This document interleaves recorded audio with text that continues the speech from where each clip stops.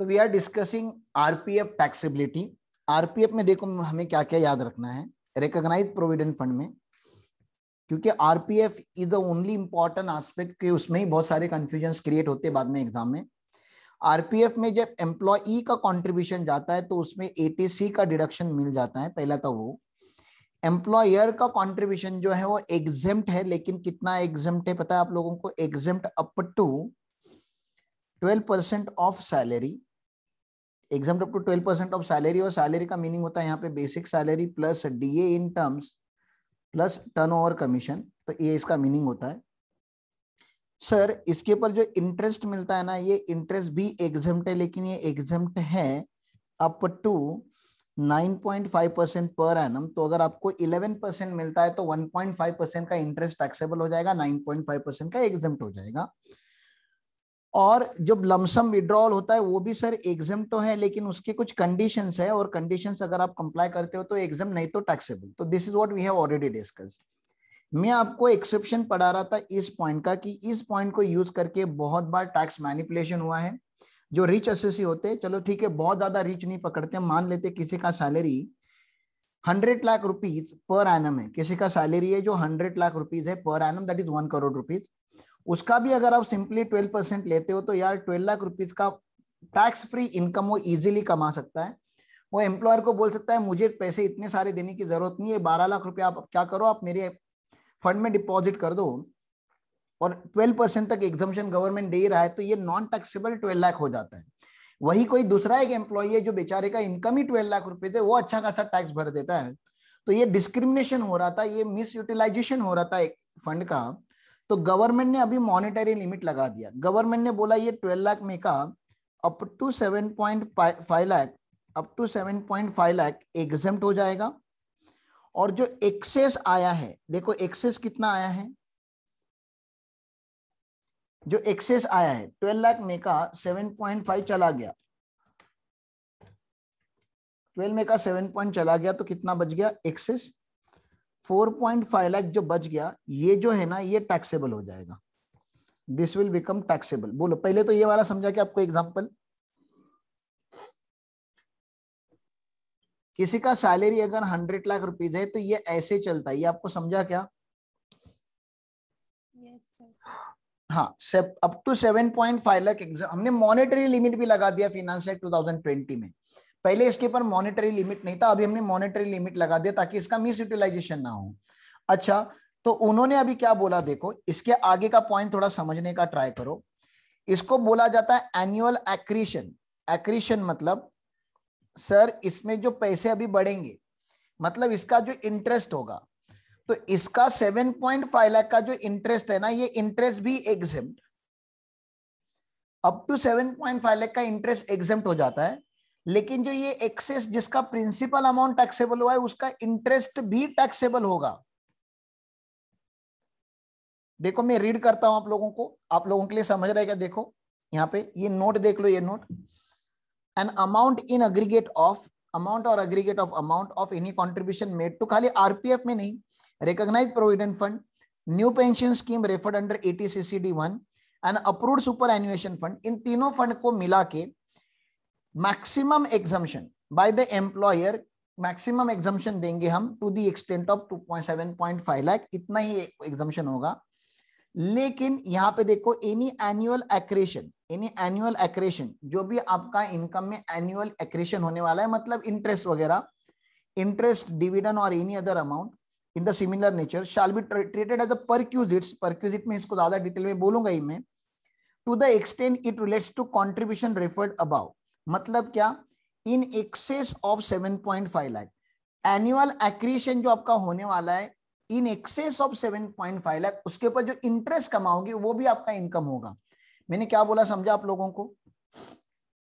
Annual accretion का point समझ रहा आपको ये क्या है? एनुअल एक्रीशन मतलब जितना प्रिंसिपल एग्ज़ाम उतना इंटरेस्ट एग्ज़ाम जितना प्रिंसिपल टैक्सेबल उसका इंटरेस्ट भी टैक्सेबल ये बात क्लियर है? Yes. ठीक है? चलो, फिर कुछ ना कुछ हम क्या कर लेते हैं? क्वेश्चन देख लेते हैं अभी। एक दो क्वेश्चंस कर लेंगे तो आपको क्लैरिटी आ ही जाएगी। क्वेश्चन में इसका डिस्कस कर लेता हूँ। इतना ज़्यादा डिफ़िकल्ट क्वेश्चन है नहीं। देखो Mr. A retires from services on 31st December 2020 after 25 years of service. Following are the particulars of his income and investment for the previous year 2021. Basic pay दे दिया उन्होंने नाइन मंथ का इतना amount dearness allowance दे दिया इतना। For nine month lump sum payment lump sum payment की बात करेंगे हम यहाँ पे. Lump sum payment received from unrecognised provident fund is six lakh and deposit in PPF account इसका तो एटीसी में डिडक्शन मिलता है, इसका तो यहाँ पे कोई लेना देना नहीं है। मुझे बोलो lump sum payment receive from unrecognise provident fund taxable होता है ना? अभी तो बात किया हमने lump sum payment from unrecognise provident fund will be taxable right yes लेकिन यस यस उसके चार पार्ट होते हैं उसके फोर पार्ट्स होते हैं। देखो ना विड्रॉल फ्रॉम यूआरपीएफ इसके फोर पार्ट होते हैं। Employer employee contribution employer contribution interest on employee contribution and interest on employer contribution उसमें का एम्प्लॉयर के रिलेशन में जो होता है वो सैलरी में टैक्सेबल होता है। एम्प्लॉय कॉन्ट्रीब्यूशन टैक्सेबल ही नहीं होता और interest on employee contribution IFOS में टैक्स होता है। वही ये बात यहाँ पे आपको बतानी है ज़्यादा कॉम्प्लिकेटेड है नहीं चीज़ें। Out of the amount received from unrecognized fund employers contribution was two lakh twenty thousand employers contribution है employer का contribution एंड उसके ऊपर का इंटरेस्ट फिफ्टी थाउज़ेंड था ये दोनों भी कौन से हेड में टैक्स होंगे मुझे बता दो टू ट्वेंटी प्लस फिफ्टी ये दोनों कौन से हेड में टैक्स होंगे एम्प्लॉयर कंट्रीब्यूशन बोला है ना कौन से हेड में टैक्सेबल होंगे दोनों के दोनों टैक्सेबल है हेड बता दो बस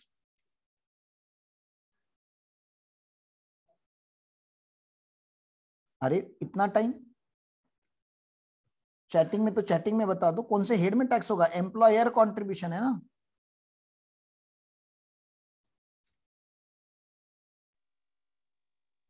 आईओएस आईएफएस में टैक्स होगा। वेरी गुड ठीक है ना? एम्प्लॉज कंट्रीब्यूशन क्या ये टैक्सेबल होता है? एम्प्लॉय का खुद का कंट्रीब्यूशन खुद ही रिसीव कर रहा है बाद में तो?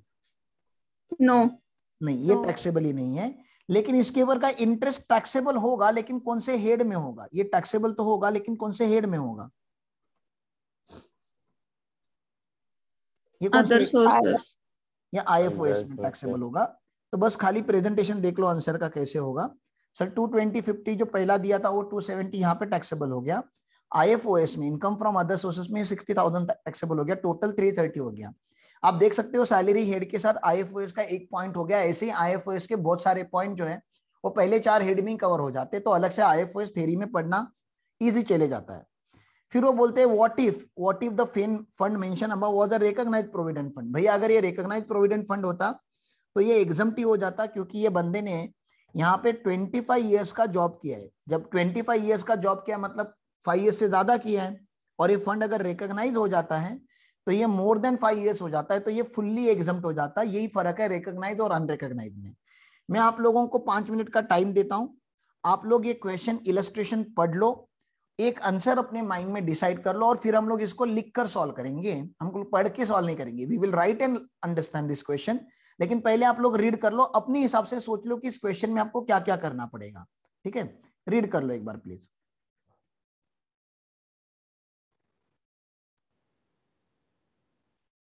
So let's start solving question number eight.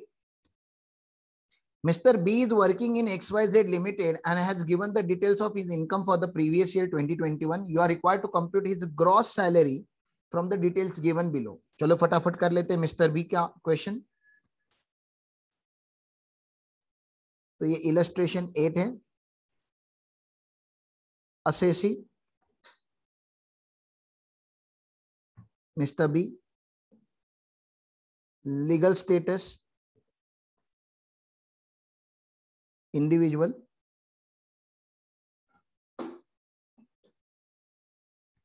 residential status or EY 2122 PY 2021 PAN dash whatever question has demanded we should write that only. Computation of gross in gross salary.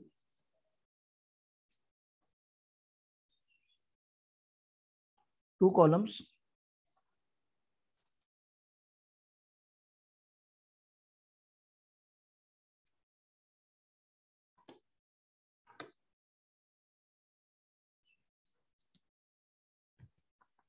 basic salary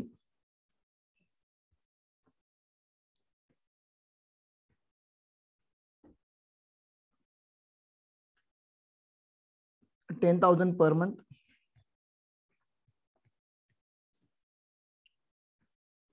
तो one lakh twenty outer column में आ जाएगा.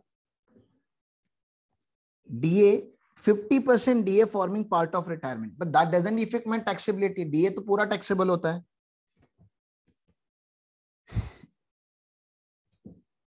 Dearness allowance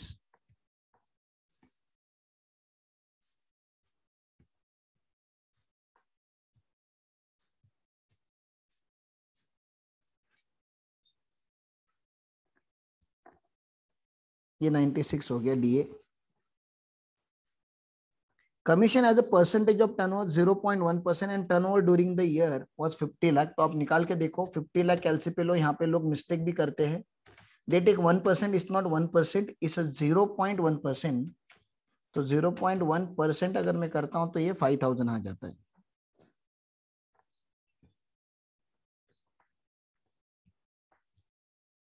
Turnover commission 50 lakh into 0.1 percent.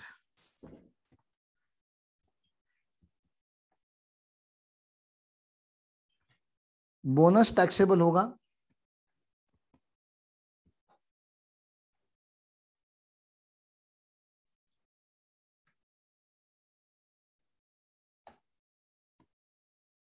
Gratuity twenty five thousand का है। Gratuity taxable होगा कि exam होगा?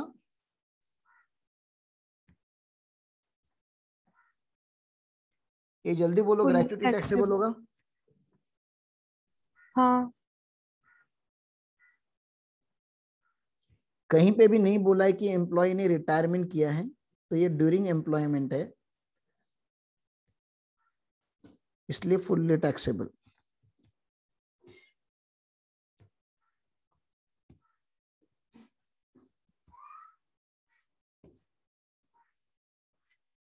his own contribution to RPF इसका तो एटीसी में डिडक्शन मिलता है, इसका यहाँ पे कोई लेना देना नहीं है। हाँ employer's contribution to RPF twenty percent of basic pay ये इनकम माना जा सकता है।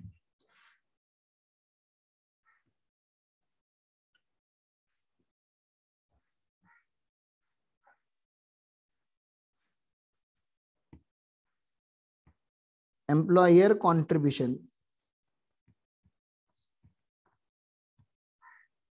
टू आरपीएफ कितना दिया जा रहा है, sir? Twenty percent of basic salary. तो बेसिक सैलरी तो इसका कितना है बेचारे का? वन लाख ट्वेंटी थाउज़ेंड है। One lakh twenty thousand into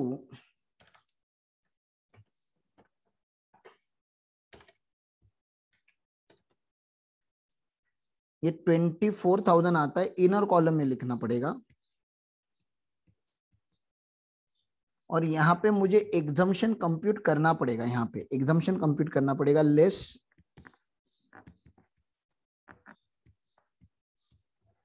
exemption up to twelve percent of salary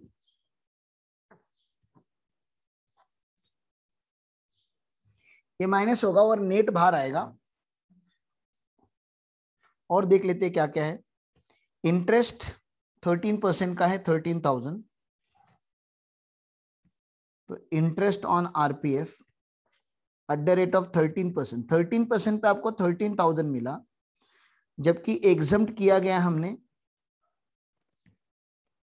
exempt up to nine point five percent पर है ना तो कैसे कंप्लीट होगा? आपको एग्ज़ाम में दिया गया थर्टीन परसेंट वाला। तो thirteen thousand divide by thirteen into nine point five अगर आप करते हो तो आपको क्या मिलता है देखो? Thirteen thousand divide by thirteen into nine point five तो आपको नाइन थाउज़ेंड फाइव हंड्रेड मिलेगा, क्योंकि up to nine point five percent exempt किया है हमने nine thousand five hundred minus कर दो तो three thousand five hundred taxable आ जाता है। ऊपर का 3.5 परसेंट टैक्सेबल होगा प्रिंसिपल शायद एक लाख रुपया होगा। शायद क्या होगा? एक लाख रुपया।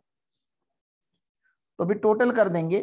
तो ये जो टोटल आएगा यहाँ पे, ये आ जाएगा ग्रॉस सैलरी बच क्या गया? खाली एग्जामेशन निकालना। एग्जामेशन में वर्किंग नोट में दिखा रहा हूँ आपको। Working note number one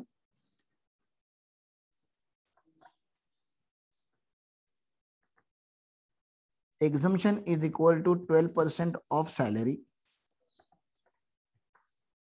12% of salary का मतलब होता है basic salary plus DA in terms plus turnover commission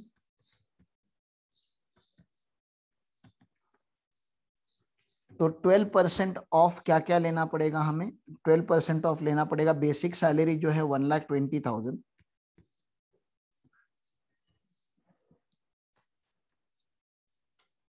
basic salary one lakh twenty thousand ले लिया मैंने। ये देखो।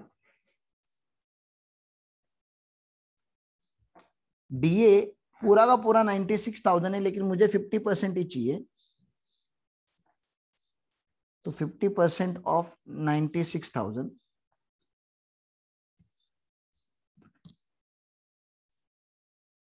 plus turnover commission five thousand इसको सॉल्व करो। तो ninety six thousand into fifty percent करेंगे तो फोर्टी एट थाउज़ेंड होता है। Forty eight thousand plus one lakh twenty thousand plus five thousand ये होता है twelve percent of one lakh seventy three thousand इसका इंटू ट्वेल्व परसेंट कर लो। तो टू ज़ीरो सेवन सिक्सटी आता है एग्जामेशन बोलो क्लियर है ये? यही कैलकुलेशन पढ़ाना था ये कैलकुलेशन क्लियर है ना? ट्वेंटी सेवन सिक्सटी आ गया। तो यहाँ पे मैं डाल देता हूँ twenty seven sixty twenty seven sixty में से ये माइनस कर दो twenty four thousand minus twenty seven sixty minus कर दो तो ये आएगा नेट आउटर कॉलम में थ्री टू फोर ज़ीरो अब पूरा टोटल ले लो three two four zero plus three thousand five hundred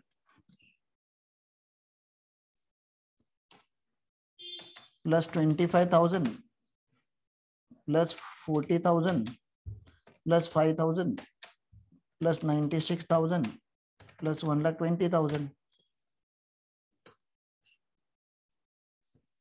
gross salary आ जाएगा two lakh ninety two seven forty calculation error देख लेना कहीं क्या होगा तो। Two ninety two seven forty do not copy as it is हमेशा आप सॉल्व किया करो। आप भी कैल्सी वगैरह यूज़ किया करो प्लीज़ किसी को कुछ डाउट होगा तो प्लीज़ पूछो।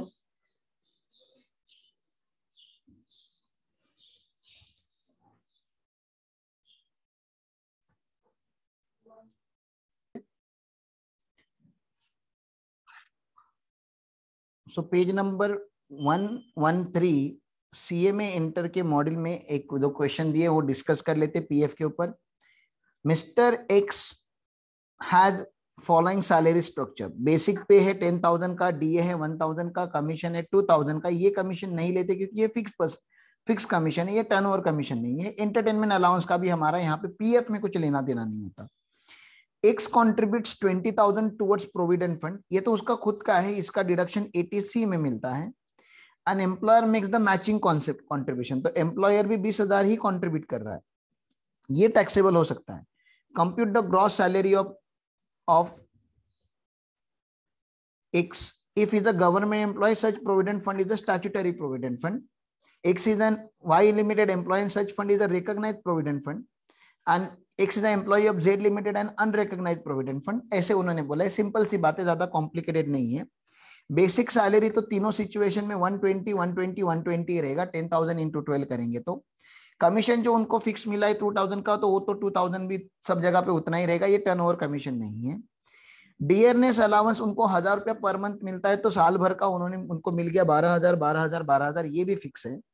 एंटरटेनमेंट अलाउंस भी उनको पूरा का पूरा मिलेगा, इसमें कोई डाउट नहीं है twenty four thousand twenty four thousand twenty four thousand ये सब यहाँ तक स्टैंडर्ड चल रहा है। यहाँ तक कोई टैक्सीबिलिटी चेंज नहीं हुई। अभी employer contribution to PF employer employee की बात नहीं हो रही यहाँ पे एम्प्लॉयर्स कॉन्ट्रीब्यूशन मेरा इनकम होता है। तो ट्वेंटी थाउज़ेंड का इनकम लिखा और क्योंकि ये केस वन में गवर्नमेंट एम्प्लॉय है एसपीएफ है फुल्ली एग्ज़ाम मैंने आपको पढ़ाया हुआ है। जितना भी एम्प्लॉयर कॉन्ट्रीब्यूट करेगा फुल्ली एग्ज़ाम हो जाएगा। तो टैक्सीबिलिटी में नील आया इसलिए टोटल सैलरी इतना आया। सर केस बी में क्या होता है? केस बी में ये आरपीएफ है रिकॉग्नाइज प्रोविडेंट फंड है और क्योंकि ये रिकॉग्नाइज प्रोविडेंट फंड है इसका जो टोटल होता है माय डियर फ्रेंड्स इसका जो टोटल होता है कितना? वन लाख ट्वेंटी थाउज़ेंड अच्छा डीए को हमें अज्यूम करना पड़ेगा। डीए क्या करना है? DA forming part of retirement benefit लेना है या नॉट फॉर्मिंग आपका model in the absence of information इसको forming part of retirement benefit पकड़ता है। तो one lakh twenty thousand plus two thousand मैं करके देखता हूँ पहले।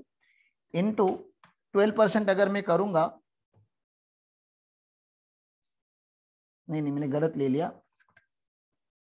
One lakh twenty thousand plus DA लेना है ना डीए कमीशन नहीं लेना है।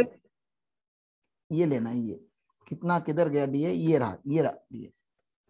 प्लस ट्वेल्व थाउज़ेंड लेना है तो one lakh thirty two thousand होता है। उसका ट्वेल्व परसेंट अगर मैं लेता हूँ तो फिफ्टीन एट ट्वेंटी आता है ठीक है ना?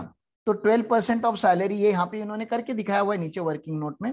फिफ्टीन एट ट्वेंटी आएगा बैलेंस टैक्सेबल हो जाएगा। और अगर अनरिकॉग्नाइज प्रोविडेंट फंड होगा अनरिकॉग्नाइज प्रोविडेंट फंड होगा तो यहाँ पे फुल्ली एग्ज़ाम हो जाता है, लेकिन रिटायरमेंट के बाद जब टैक्सेबल होगा तो पूरा टैक्सेबल हो जाता है। तो वो बात आपको याद रखनी पड़ेगी यहाँ पे। ये देखो, यहाँ पे twelve percent of salary commission नहीं लिया गया। डीए को मान लिया गया कि ये डीए टी है, और इसको यहाँ पे इन्होंने कंसिडर करके पूरे के पूरे के ऊपर टैक्स कर लिया है। अब इन्होंने यहाँ पे एक छोटा सा एग्जांपल ये भी दिया हुआ है कि कभी कभी यूआरपीएफ आपको नहीं लग रहा यूआरपीएफ कभी ना कभी ज़िंदगी में आरपीएफ बन सकता है? यूआरपीएफ आरपीएफ बन सकता है ना आगे जाके? अरे जब फंड स्टैब्लिश किया था तो अनरिकॉग्नाइज था, बाद में उन्होंने सारे कंप्लायंसेस को मैच करके अपने आप को रिकॉग्नाइज करा के ले लिया। ऐसा हो सकता है ना कि फंड ही चेंज हो गया। हाँ तो वैसे हाँ. केस में क्या करेंगे? सर यहाँ पे आठ साल तक तो कंट्रीब्यूट किया था वो आठ साल का कंट्रीब्यूशन तो टैक्सेबल होना था और उसके बाद यहाँ पे 12 साल कंट्रीब्यूट किया टोटल मैंने 20 साल कंट्रीब्यूट किया। तब जब 20 साल के बाद जब आप पैसे विड्रॉ करोगे जब विड्रॉ करोगे तभी तो यह आरपीएफ होगा लेकिन जब आपने चालू किए थे तभी यह यूआरपीएफ होगा। तो यहाँ तक जितना पैसा आपने कॉन्ट्रीब्यूट किया है जिस दिन ये ट्रांसफ़र हुआ है यूआरपीएफ से आरपीएफ तक इस ईयर में इसको टैक्सेबल किया करके रखता है गवर्नमेंट तो यहाँ पे उन्होंने वो सब लिखा, इतना काम का नहीं है, लेकिन पढ़ लेता हूँ। An organisation maintaining URPF may later get recognition from commissioner of income tax in such case accumulated balance of U URPF shall be converted into RPF tax treatment of transport will be as under calculation is made of all the sum comprises of transport balance that would have been liable to income tax if recognition of the fund had been in force from the date of institution of the fund. However, in case of serious accounting difficulty, commissioner may make summary of the calculation of such aggregate. तो commissioner आपको help करेगा taxability निकालने के लिए. Such aggregate sum is deemed to be the income received by the employee in the previous year in which the recognition of the fund note on taxability of the conversion assessee can not claim relief under section eighteen है। जाने दो, इतना कुछ बड़ी बात नहीं, मैंने बता दिया थेरी एक इलेस्ट्रेशन देख लेते हैं। Mister Sharma has appointed an accountant of ABC limited किसी कंपनी में अकाउंटेंट की जॉब करते हैं Sharma ji. From first April two thousand eighteen since then he is working with the same company the salary structure and increment details are as follow इसको आपको पढ़ने आता है अभी? 5000 dash 1000 dash 8000 dash 1500 dash 14000 बोलो can you read this जब इसका appointment हुआ था तो इसका पगार कितना होगा? 5000 पर मंथ एक साल कंप्लीट हो जाएगा तो कितना हो जाएगा? 6000 6000 दो साल हो जाएँगे तो 7000 हो जाएगा तीन साल हो जाएँगे तो 8000 हो जाएगा। 8000 के बाद जब और एक साल कंप्लीट होगा तो तो 1500 बढ़ेगा हाँ बरोबर तो ये रीडिंग मैंने आप लोगों को पढ़ा दिया था ये ग्रेड ऑफ़ सैलरी बोलते हैं डीए का भी वैसा ही था पहले three thousand then five hundred then five thousand हो जाएगा तो थाउज़ेंड से बढ़ेगा he and his employer contribute 14% of the basic to the DA जितना contribution होता है उतना taxable नहीं होता जब transfer होगा तो taxable होगा every year 9% interest is credited to such fund on 1st April 2020 the fund get recognition देखो unrecognized fund को unrecognized fund को recognition मिल गया and the accumulated balance was transferred to RPF. Comment on the tax treatment of such, such transferred balance. आपको इतना detail में नहीं पढ़ना चाहिए लेकिन दिखा देता हूँ अभी आंसर है तो statement showing transferred balance 14 percent of 18-19 का और 19-20 का हमें बैलेंस निकालना पड़ेगा। सर 18-19 में सैलरी कितना होगा शर्मा जी का? 18-19 के प्रीवियस ईयर में इनका सैलरी होना चाहिए। देखो ना कब इसने ज्वाइन किया था? फ़र्स्ट अप्रैल 2018 को इन्होंने ज्वाइन किया था। A scale of five thousand rupees तो five thousand into five thousand into twelve करता हूँ मैं तो मेरा सैलरी आ जाता है सिक्सटी थाउज़ेंड रुपीज़ ये आ गया सिक्सटी थाउज़ेंड तभी मेरा डीए कितना था सर डीए मेरा थ्री थाउज़ेंड था. थ्री थाउज़ेंड इंटू ट्वेल्व करता हूँ तो थर्टी सिक्स थाउज़ेंड आता है. तो ये उन्होंने कर दिया thirty six thousand plus sixty thousand का नाइन्टी सिक्स थाउज़ेंड का आपको लेना चाहिए। फोर्टीन परसेंट जो उन्होंने एक्चुअल कंट्रीब्यूट किया thirteen thousand four forty next year में सैलरी थाउज़ेंड से बढ़ जाएगा डीए थाउज़ेंड से बढ़ जाएगा डीए फाइव हंड्रेड से बढ़ जाएगा। तो इतना डीए आ गया, इतना सैलरी आ गया, मेरा टोटल आ गया फिफ्टीन थाउज़ेंड नाइन सिक्सटी फिर से फोर्टीन परसेंट ले लिया। सर एग्जम्प्टेड कितना होता है? अगर आरपीएफ होता, अगर आपका फंड हो तो sir twelve percent of salary plus DA exempt हो जाता। तो 96,000 का और वन लाख फोर्टीन थाउज़ेंड का 12 परसेंट एग्ज़ाम कर लिया जो डिफरेंस आता है वो टैक्सेबिलिटी में ले लिया एक इंटरेस्ट का कोई प्रॉब्लम नहीं है क्योंकि इंटरेस्ट नाइन परसेंट ही मिल रहा था और आरपीएफ पे इंटरेस्ट का जो एग्जामेशन है वो नाइन पॉइंट फाइव परसेंट तक का रहता है। Current year contribution shall be treated as RPF and taxable amount will be two six four zero ये कैसे निकाला उन्होंने? ट्वेल्व परसेंट ऑफ़ सैलरी फिर से वो लेना पड़ेगा। अभी करंट ईयर का सैलरी कितना हो गया रहेगा शर्मा जी का? फाइव थाउज़ेंड से चालू हुआ था तो सेवन थाउज़ेंड हो गया रहेगा अभी सेवन थाउज़ेंड इंटू ट्वेल्व करेंगे तो एटी फोर थाउज़ेंड आता है।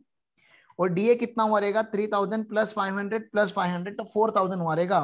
तो ये फोर्टी एट थाउज़ेंड तो आपको पता है कि फोर्टीन परसेंट कॉन्ट्रीब्यूट हो रहा है ट्वेल्व परसेंट एग्ज़ाम हो जाएगा। करंट ईयर का टैक्सेबिलिटी इतना है, ये प्रीवियस ईयर का टैक्सेबिलिटी है। ये दोनों अमाउंट टैक्सेबल हो जाएँगे करंट ईयर में। Four thousand two hundred plus two six four zero interest पूरा का पूरा एग्ज़ाम हो जाएगा क्योंकि वो तो नाइन परसेंट है नाइन पॉइंट फाइव परसेंट के नीचे ही है तो पूरा एग्ज़ाम हो जाएगा। तो ये हमने बात कर ली पूरे के पूरे प्रोविडेंट फंड की। इससे ज़्यादा प्रोविडेंट फंड में लाइफ में कुछ नहीं हो सकता। जितना भी मैंने पढ़ा है I hope it was clear अगर आप लोगों को कुछ डाउट है पर्टिकुलरली तो प्लीज़ आस्क